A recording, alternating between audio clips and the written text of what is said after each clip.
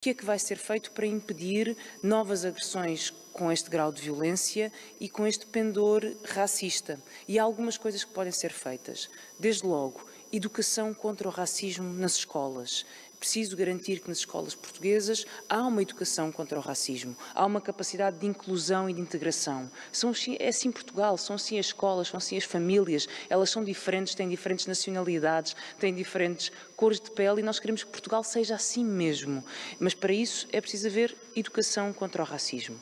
É preciso também garantir que sempre que acontece em contexto escolar um fenómeno de violência, seja qual for a violência, mas uma violência racista neste caso, que existe uma denúncia e que a escola e a direção da escola não tente abafar esse, esse acontecimento e, sobretudo, que seja garantido que tanto a vítima, a criança, como os pais têm o acompanhamento necessário.